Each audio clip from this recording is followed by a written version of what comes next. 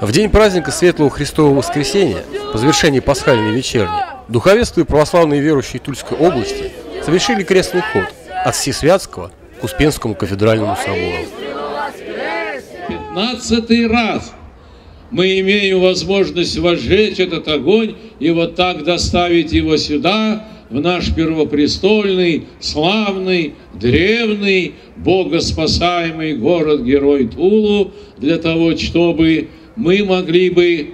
причаститься этому видимому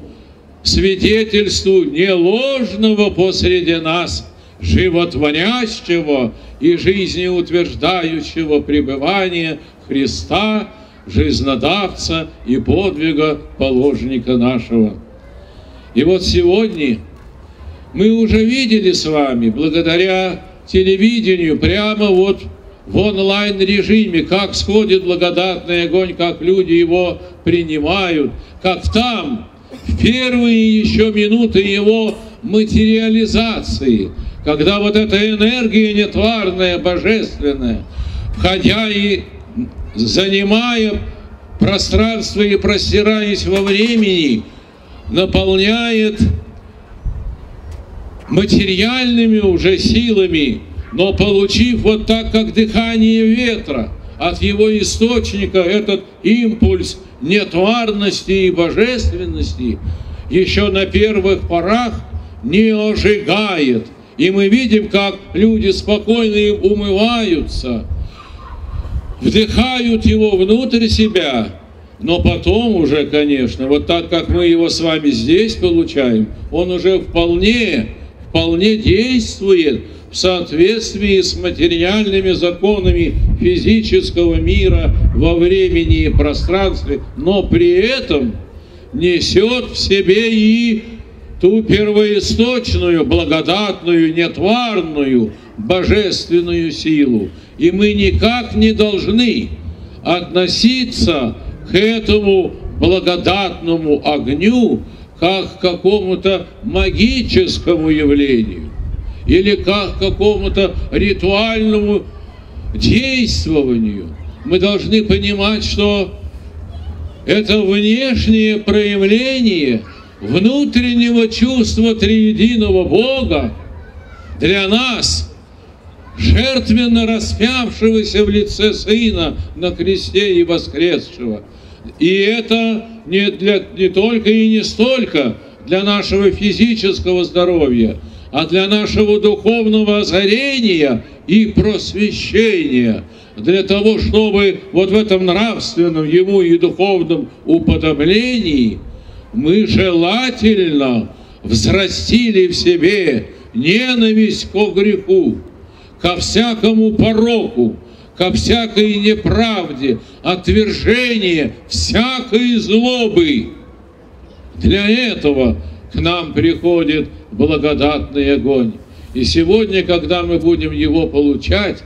всякий, кто будет первым по времени, кто его получит,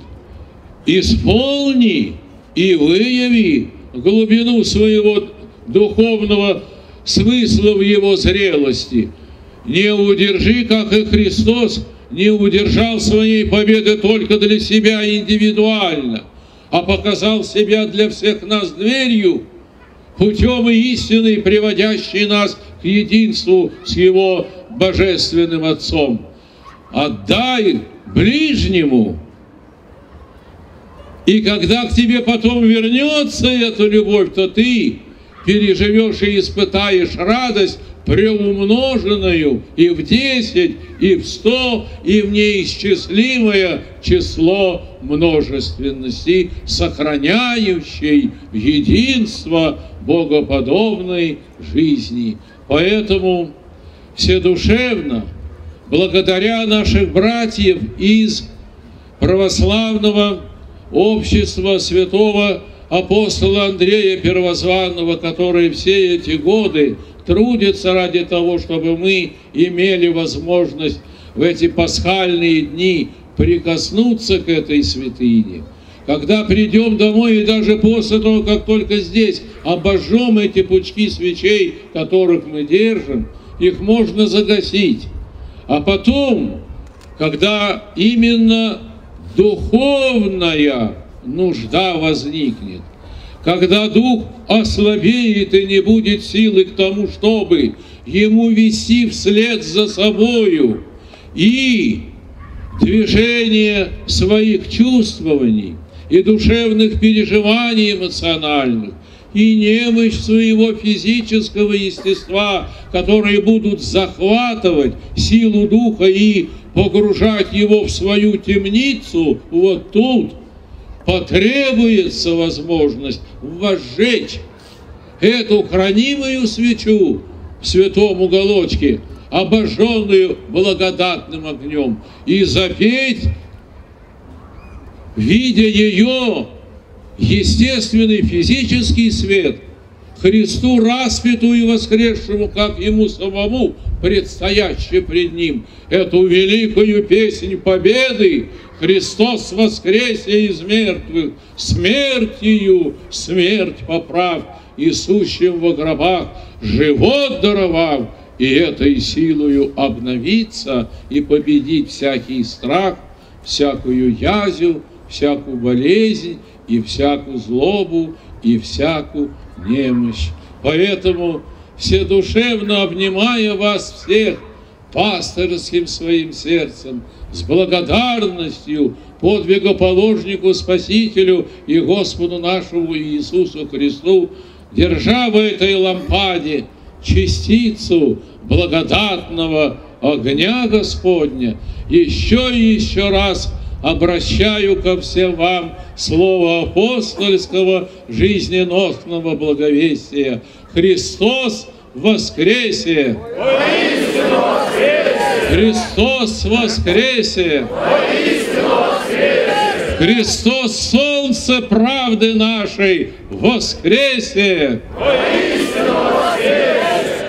Пасхальный день завершился встречей благодатного огня, доставленного в Тулу из Иерусалима, где он сошел на гроб Господень, символизируя воскресение поправшего смертью смерти Иисуса Христа, гражданина Царства Духа и гражданина Земли, соединившего землю и небо, так, что земля стала пронизана божественным присутствием и духом жизни.